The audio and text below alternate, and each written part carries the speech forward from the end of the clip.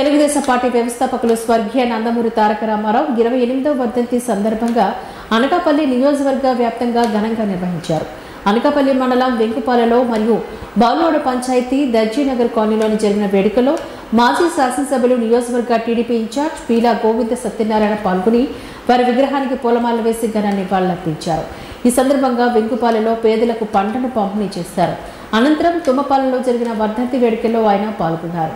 ఈ కార్యక్రమంలో TDP Janasena party నాయకులు కార్యకర్తలు అభిమానులు మహిళలు ఎన్టీఆర్ అభిమానులు పెద్ద ఎత్తున పాల్గొన్నారు.